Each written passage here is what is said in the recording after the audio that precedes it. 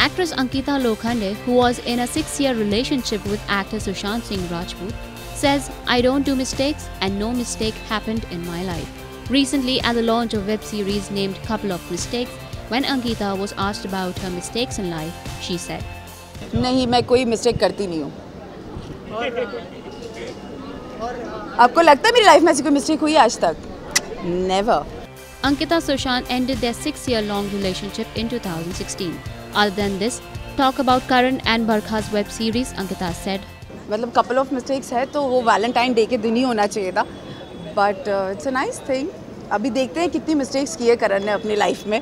So I am really excited to see Meera and and Ashwin yes We have seen quite a few actors turning TV producers in recent times. The latest to join the bandwagon is Karan Veer Mehra. He has come up with his first production house, Hott Studios, and his first web series, Couple of Mistakes, from his banner, which also stars Barkha Bisht.